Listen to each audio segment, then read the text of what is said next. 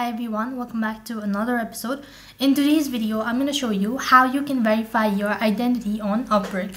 So first thing first, make sure that you have already created a profile. Once you're logged in or directed to the homepage, you'll be able to find an option as verified or action required. So you'll have to tap the pop-up and as soon as you do that, it's going to direct you to the other interface where you can actually verify your identity.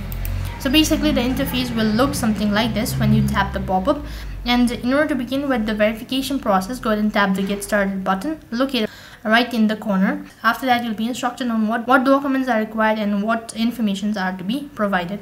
So go through the instructions follow the prompt and accordingly provide in the information once you're done providing the information or once you're done completing the verification steps, you'll have to wait patiently in order to receive a response. If the information seems to be invalid, then it's going to ask you to re-upload some of the documents or whatsoever, and that's going to fix your issue. That's how you can verify your identity on Upwork. That is all for this video.